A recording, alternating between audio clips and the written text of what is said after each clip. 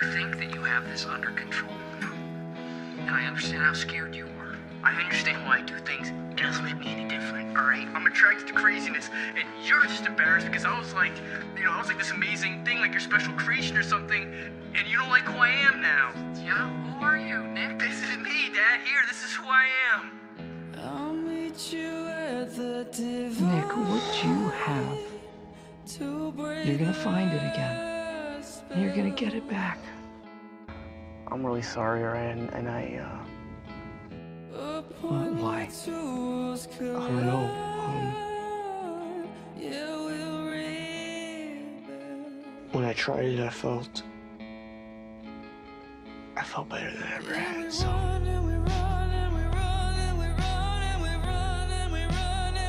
just kept on doing it.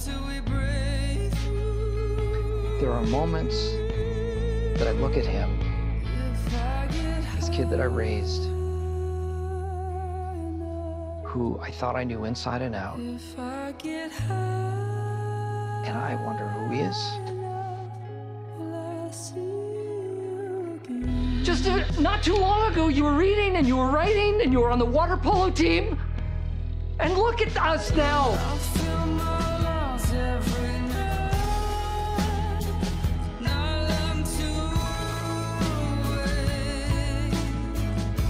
Got out of hand, right? What you think?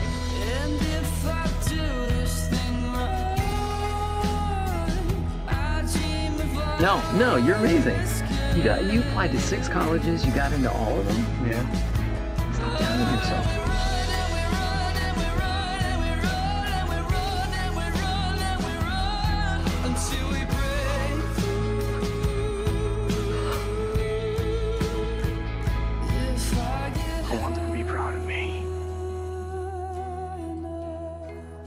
I wish that I could help you, but I can't do that.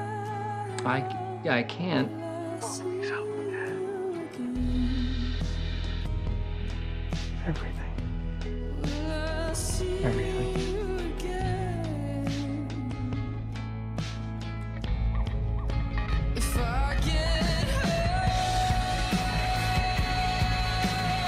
Even when she was alive, she, she wasn't there.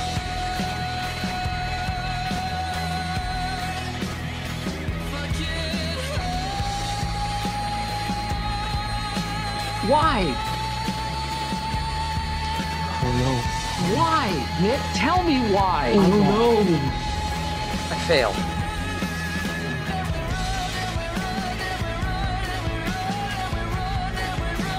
I love you, No. and I hope you get your life together. I love you too.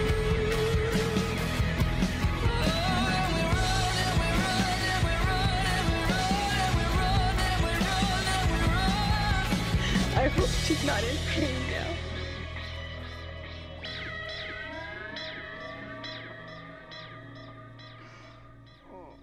Oh.